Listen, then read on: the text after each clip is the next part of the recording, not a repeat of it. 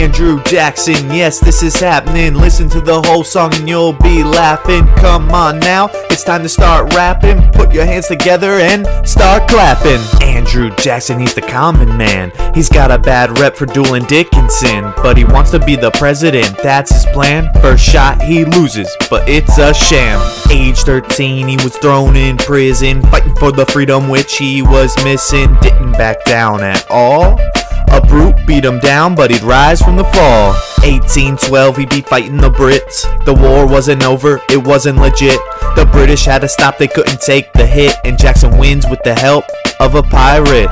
1824, you see him running for POTUS, trying real hard to say that he is for us. And in this age, there's more and more voters. He gets all the votes but loses. That's bogus. Andrew Jackson, he's the common man. He's got a bad rep for dueling Dickinson, but he wants to be the president. That's his plan. First shot, he loses, but it's a sham. Now he's got fire in his eyes, and people ain't surprised that he wants to run again to overcome the corrupt bargain with his new best friend, the little magician, Van Buren.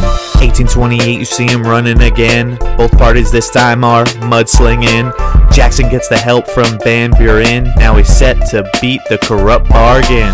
He is the common man. He's got a bad rep for dueling Dickinson. Now he's the president. That was his plan. Overcame and defeated John Adams. As president, you see the trail of tears. Indians were mistreated for many years. They walked miles and miles with all their fear, all because white people didn't want them near.